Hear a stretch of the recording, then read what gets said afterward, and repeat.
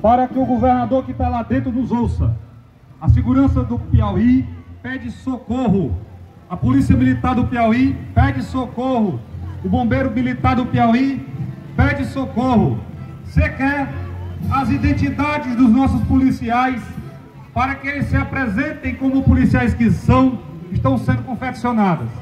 Nós vamos aqui trazer, governador, as nossas necessidades básicas. 57 irmãos nossos vítimas de morte violenta de 2015 para cá. Policiais militares do Piauí estão morrendo, estão sendo mortos. Nossas famílias passam necessidade. 30% de deságio. A inflação corroeu em 30% do nosso salário. O secretário de segurança virou as costas para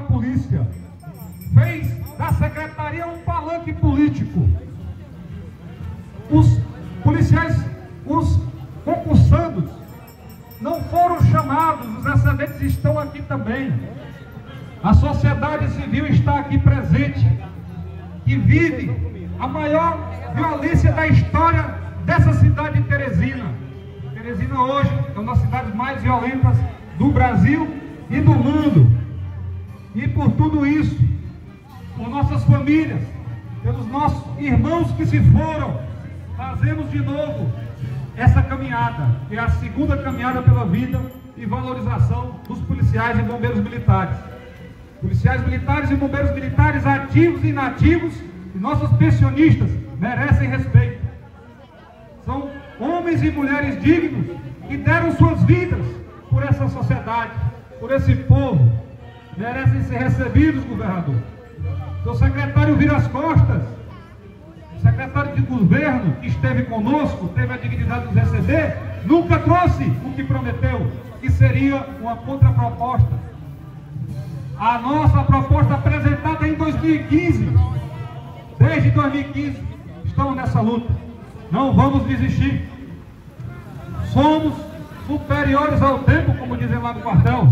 Não é isso, meu tio?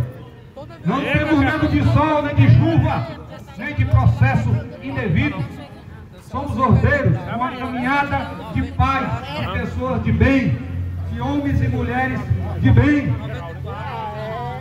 Junto com os excedentes do concurso, com os bombeiros voluntários, com a sociedade civil organizada, com os amigos e irmãos, os policiais militares e bombeiros militares do Piauí.